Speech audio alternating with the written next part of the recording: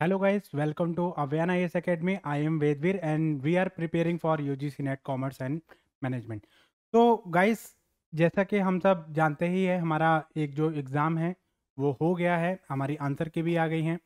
Answer की से आपको पता चल गया होगा कि भाई आपका एग्ज़ाम का जो लेवल है वो क्या रहा है। आपका जो लेवल है वो क्या रहा है? तो आप जल्द ही आपका रिज़ल्ट भी डिक्लेयर हो जाएगा। तो हमें उसकी टेंशन नहीं लेनी है। हमें टेंशन लेनी है किस चीज़ के लिए? हमारा जो एग्ज़ाम दिसंबर 2022 में होने वाला है उसकी हम पहले से ही अपनी प्रिपरेशन कैसे करें।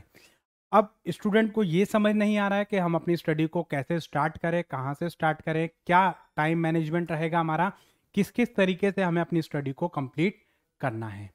एक माइंड मेकअप हमें बना के चलना है तो यही चीज़ हमारी मिसिंग रह जाती है, हमारे एग्ज़ाम को क्रैक करने के लिए। तो आज मैं आपके लिए कुछ ऐसे टिप्स लेकर आया हूँ जिनको स्टडी करने के बाद या जिस वे में आप स्टडी करने के बाद definitely you will get success in the exam. तो क्या क्या चीज़ें हैं? चलिए, आज की क्लास में हम लोग डिस्कस करते हैं।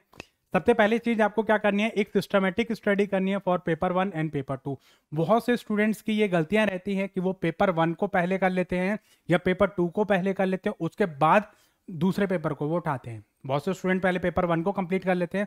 उनका ये मानना रहता है कि भाई पहले पेपर वन कंप्लीट कर लो, फिर पेपर टू हम उठाएँगे। या बहुत से स्टूडेंट सोचते हैं कि भाई पेपर टू तो हम कर ही लेंगे पेपर वन को पहले कर लेते हैं पेपर टू को बाद में करेंगे।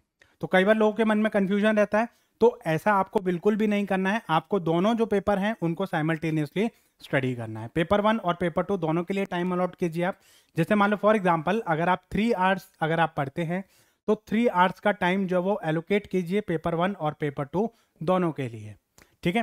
ताकि दोनों सिलेबस जो वो आपके साइमल्टेनियसली चलते रहे, उसमें कोई भी पेपर आपका आगे या पीछे आपका नहीं होना चाहिए। अगर आपको लग रहा है कि भाई पेपर वन का सिलेबस जल्दी हो जाएगा तो आप उसका टाइम जो कम कर दीजिए और उसमें आप पेपर टू का टाइम बढ़ा दीजिए। जैसे मान लो आप थ्री आवर्स कर रहे हो तो थ्री आवर्स की जो स्टडी है, वो आप पेपर वन और पेपर टू दोनों में साइमल्टेनियसली एलोकेट करना है। तो ये गलती आपको नहीं करनी है।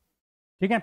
Next appropriate planning for the 90 days normally हम ये मान के चलते हैं, अक्टूबर हमारा एंड हो चुका है फेस्टिवल हमारे खत्म हो चुके हैं, नवंबर, दिसंबर। जनवरी एंड तक मतलब आपका जो एग्ज़ाम है, वो हो जाएगा जनवरी एंड या फेब्रवरी फ़र्स्ट वीक में। तो हम ये मान के चलते हैं कि भाई हमारे पास टू एंड हाफ़ मंथ तो हमारे पास डेफिनेटली है ही है।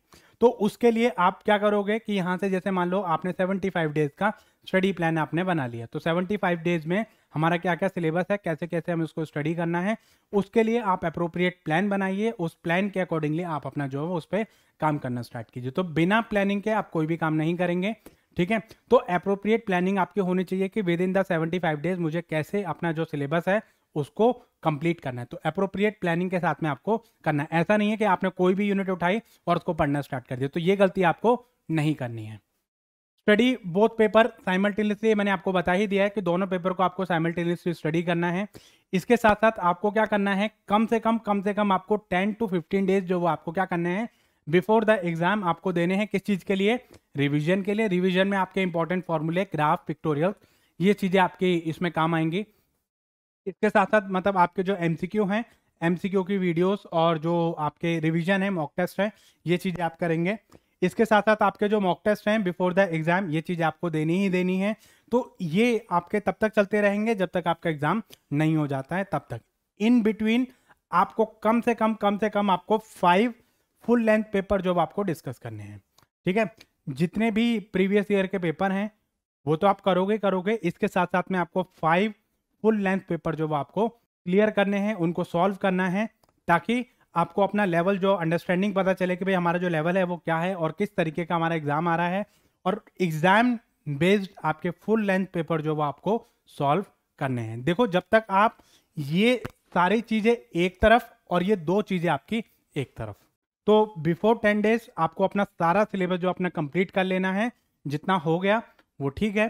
जितना नहीं हुआ, उसको आप छोड़ दीजिए। दस दिन पहले आप कोई भी चीज़ आप अपनी नहीं उठाएँगे। तो उसमें आप क्या करेंगे? सिर्फ़ आप अपना रिविजन करेंगे मॉक टेस्ट एमसीक्यू सीरीज़ ये सारी सीरीज़ करेंगे, ताकि उसमें जो जो कॉन्सेप्ट आपके छूट गए थे, वो कॉन्सेप्ट आपके यहाँ पर रिवाइज हो सके और बहुत सारी चीज़ें आपको नई नई यहाँ से पता चलेंगे, उसको किस तरीके से करना है, कैसे आपको सॉल्व करना है, ये चीज़ें आपको यहाँ से पता चलेंगी। और इसके साथ साथ मतलब आपकी जो full length mock test paper जो हैं, वो हमारी सक्सेस की तरफ़ ले जाते हैं, वो चीज़ें हमारे लिए मोस्ट इंपॉर्टेंट मतलब रामबाण, आप समझ लो इसको, कि ये जो चीज़ें हैं, वो हमारे लिए बहुत ही ज़्यादा ज़रूरी हैं। तो अगर आपने ये पाँच चीज़ें कर ली तो definitely you will get success in the December 2022 exam तो thank you guys for watching this video हम जल्द ही आपको नेक्स्ट टॉपिक में मिलेंगे आपके नए डाउट्स को क्लियर करने के लिए। तो थैंक यू गाइस वीडियो को लाइक करें शेयर करें सब्सक्राइब करें और इससे रिलेटेड हमारे जो कॉमर्स मैनेजमेंट से रिलेटेड हमारा कोर्सेज अपलोड हो चुके हैं तो उन कोर्सेज की वीडियोस को आप ज़रूर देखें, उनको लाइक करें शेयर करें और कमेंट करना ना भूलें। तो थैंक यू गाइस मिलते हैं जल्दी नेक्स्ट वीडियो में।